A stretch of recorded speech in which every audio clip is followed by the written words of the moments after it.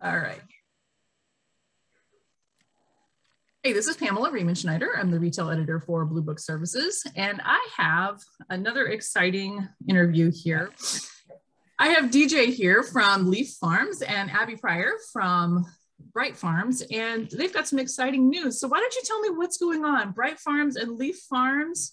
I've been to Leaf Farms, by the way. Uh, I got to visit there right before they first opened.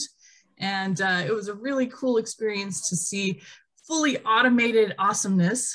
Um, so, so tell me what's going on with you guys. Yeah, sure. DJ, I'll start. Um, so just last summer, and it was a busy summer, there was a lot going on. Um, so it, it, it, may have fallen through the through the radar for some, but Bright Farms acquired Leaf Farms in August.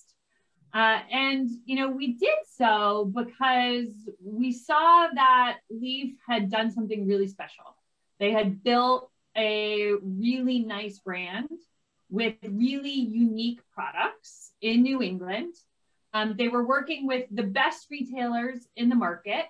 And you know, we we were also looking to enter New England, and we thought, hey, this seems like a really interesting partnership because Leaf was operating one farm, and it's really hard in this business to just operate one farm, right? With the amount of retailer support and uh, you know just general stuff that you need to get done on the agriculture side, really hard to do that with just one farm. So we said, hey, you know, could we as Bright Farms join with Leaf and give them the support and the resources that we have now that we've now put together operating five farms in other parts of the country and use that to really help their business grow.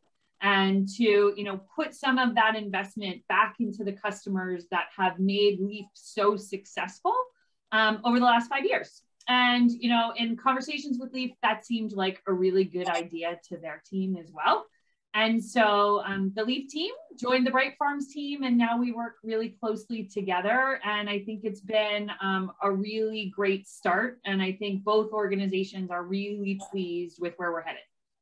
Well, and DJ, we had a fun drive around um, New Hampshire and I think into Vermont just a little bit to look at where you had gotten the product onto shelves to start with. Um, how did you expand that presence um, and where do you see you guys going in the future?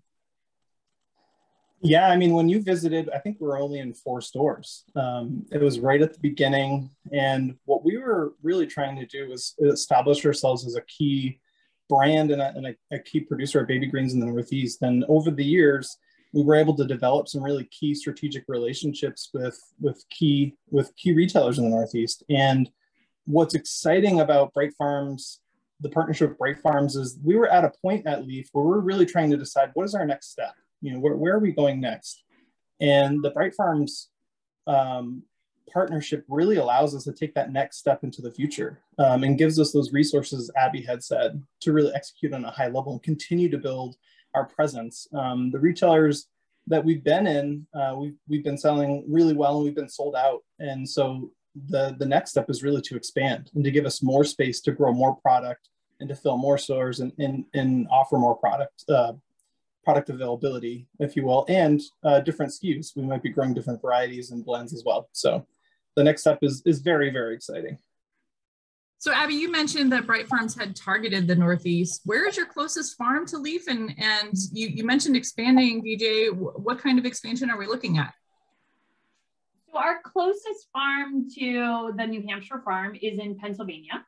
Uh, and so we were shipping from our farm in Pennsylvania, you know, up into the lower, the lower half of the Northeast, I would say. We really like to keep our produce within about four hours of our farms. That's what feels comfortable. Um, and so we couldn't quite make it up as far north as we wanted to go from our Pennsylvania farm. So this new, New Hampshire location was perfect and it was ready to expand. So I'll let, I'll let DJ talk about that.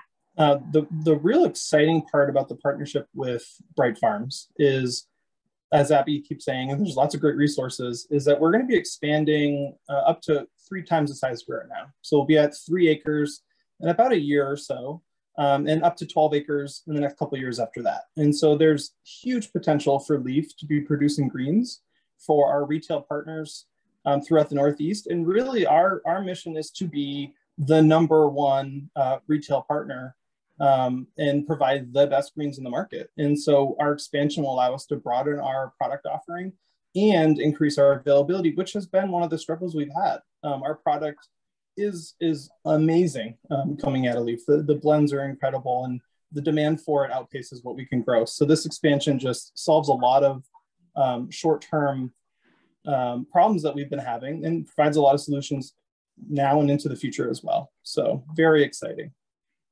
And let's talk about a little bit about branding. I know Leaf Farms has built its own brand. Bright Farms has its own brand. Um, where are we going to go with what the product naming will be and and who will own the branding? Yeah, I mean the great part is in, one of the parts of partnering with Leaf that was so exciting is that they already had such great retail partnerships. You know, um, with with Ahold, with Albertsons, with Whole Foods, with Market Basket and so our plan is to just really work with those customers to, de- to develop the best strategy that works for them. Um, strong belief that there is a consumer in New England right now that is very connected to the Leaf brand.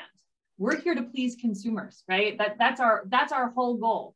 Um, so we have no plans to, you know, migrate the brands. We have no plans to make a change because we have consumers in Hannaford and Shaw's and Market Basket and Whole Foods who really love the Leaf brand and want to just see more of it. Uh, and so that's what we've really done is we've worked with those customers to say, great, let's prioritize, let's make sure that you get the supply that you need that will continue to, to grow in the market with investment.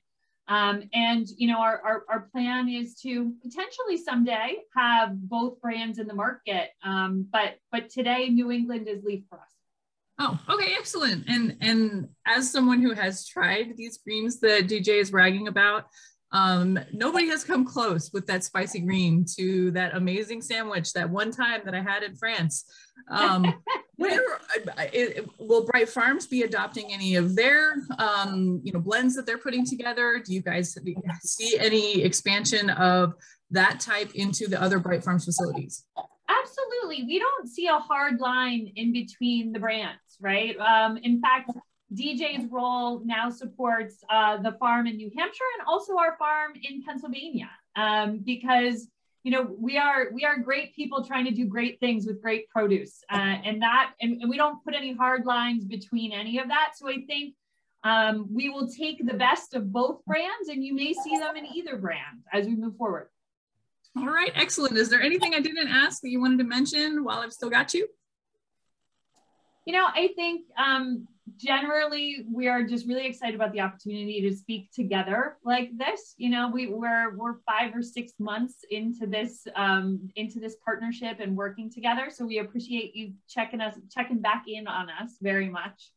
And um, we, I think, would love the opportunity to come back and, and talk to you in 12 months or so or now when I've when I've given DJ a heck of a lot more farm to work with and see how he's doing. He did an amazing job developing the entire New England market. We're going to keep him at it.